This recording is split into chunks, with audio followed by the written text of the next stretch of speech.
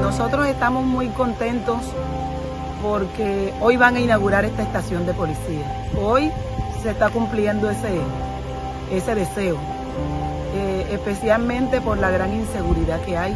Hoy es un sueño hecho realidad en este lugar. Y hemos luchado para que se hiciera esta estación de policía. Al final eh, logramos que se hiciera por la inseguridad que se presentaba en, este, en estos sectores. Y hoy eh, estamos muy agradecidos porque tenemos una urbanización nueva que nos están haciendo aquí con más de 2.500 viviendas. Entonces, como vienen más familias, la inseguridad puede aumentar, pero gracias a esta estación, de pronto el nivel de inseguridad que tenemos hoy en nuestro barrio puede bajar de nivel. Este es un barrio comercial, es un barrio alegre, es un barrio de personas que son muy caricativas, ayudan a las comunidades.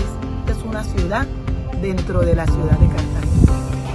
Esta estación de policía se la merecía el barrio El Pozón y la ciudad de Cartagena.